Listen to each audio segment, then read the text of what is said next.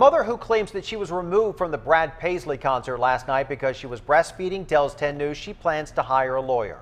Since 10 News broke the story this morning, it's blown up on social media. And 10 News reporter Allison Ash is live in Chula Vista. And Allison, we understand this wasn't the first concert for this infant. No, the infant has actually been here with her mom and her eight-year-old sister at least two other times to Sleep Train Amp Amphitheater. They came here to see Tim McGraw and Lady Antebellum and had no problems. But last night, things got ugly.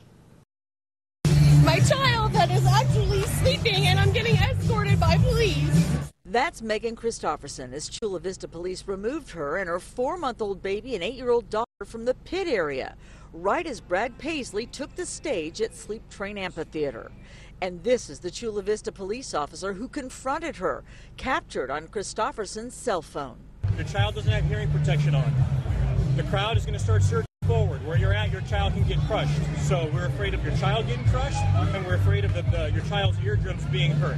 It's a country concert. I wasn't at a death metal or a rap concert.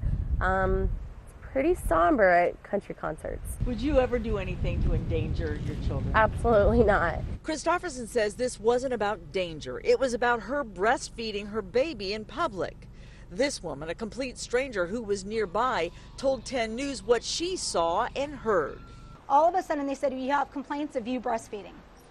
Really? Carmen Cooley Graham said although she wouldn't take an infant to a concert, the baby seemed safe and happy.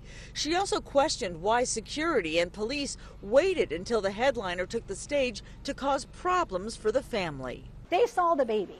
So they knew when they took her extra money to upgrade her seats that there was a baby involved. Christopherson says the answer is simple. She was shown the door because she breastfed in public and somebody didn't like it. I want